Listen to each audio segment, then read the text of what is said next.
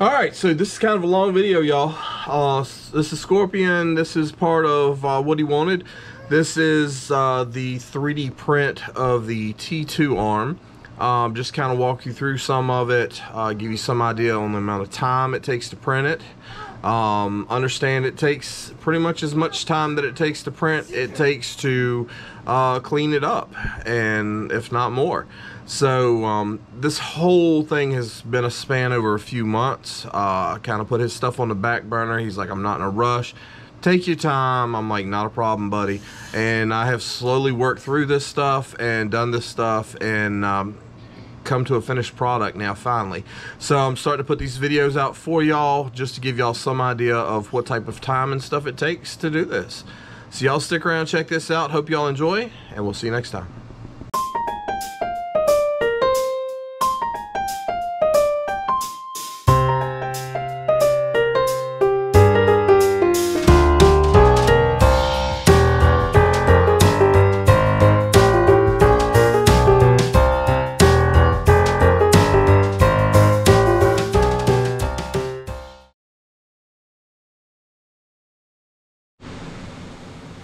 Alright, so this is going to be the first print.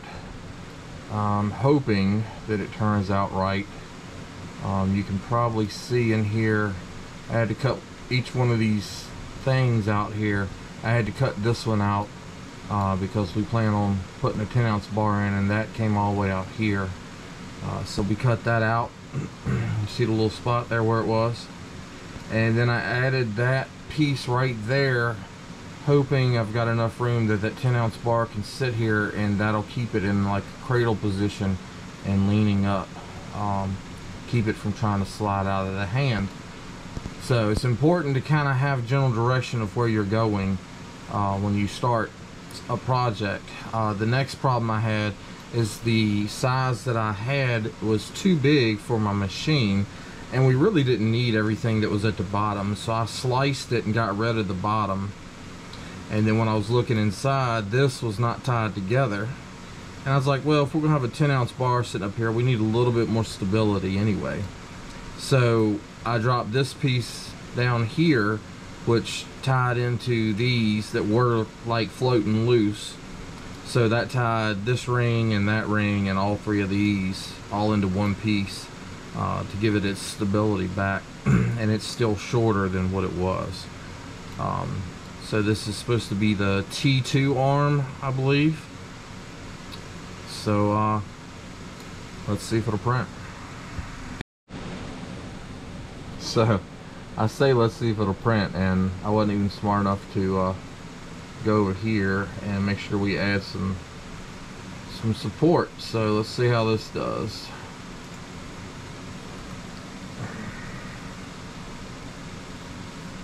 So this is your auto support. Normally does a pretty good job of covering most of what's needed, but you do have to go back and check just to make sure.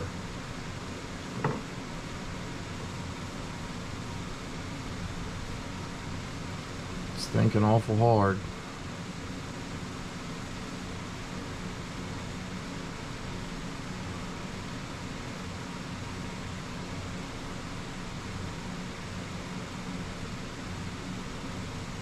Sometime today maybe.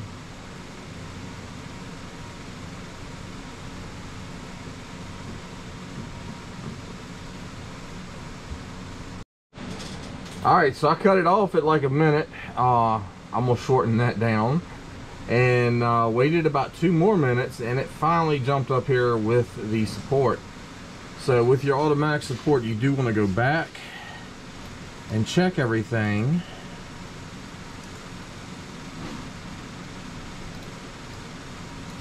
Ooh, that's not exactly what it was supposed to do, but okay.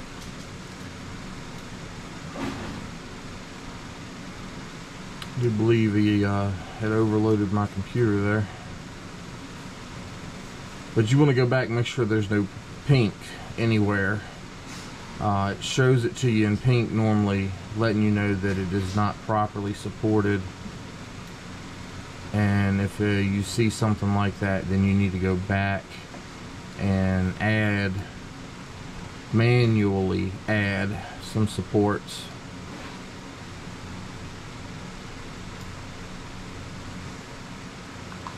But it looks like everything's taken care of pretty good. So we're gonna go ahead and uh, start the print and uh, see what happens.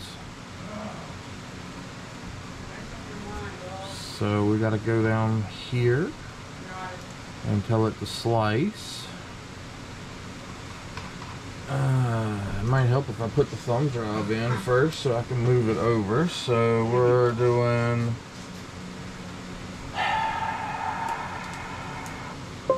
there we go. So thumb drive is in.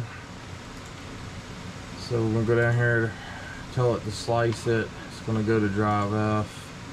It's named Terminator arm done and we're gonna hit save.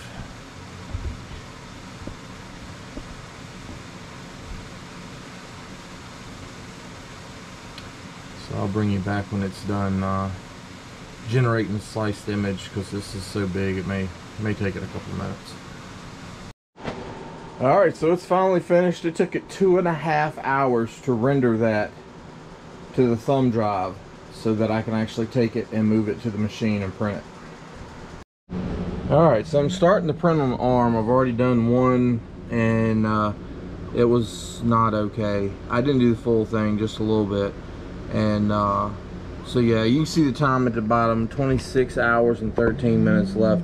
It was just a couple minutes shy of 27 hour print uh, just for this arm.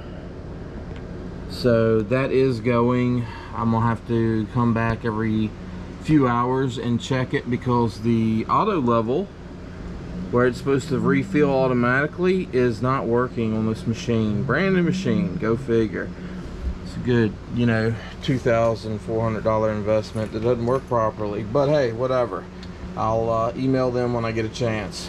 But yeah, so that's not working. So I have to come back and fill this myself uh, every so many hours to make sure it doesn't run out because if it runs out, the print will stop. So yeah, 27 hours. Let's see how it turns out. Alright, so left about 12.30 last night. Come back in this morning. It's about 7.30. And it looks like 18 and a half hours left to go. Something like that. Here's what we got so far.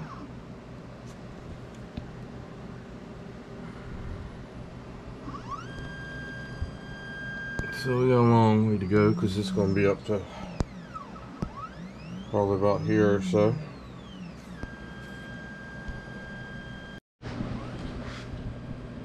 Alright, so we got 14 hours left.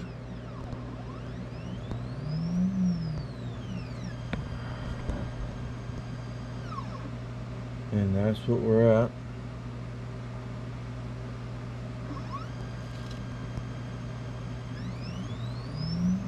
So I'm going to refill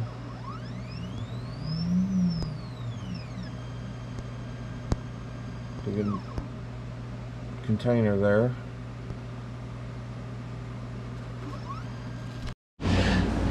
Alright, so we got 8 hours and 8 minutes left. And this is the size we're at now. Alright. So it's saying we still got 2 hours and 55 minutes left. I really hope I'm not here still, but I do have some things that I have to finish up. So I will come back tomorrow and check on this. Um,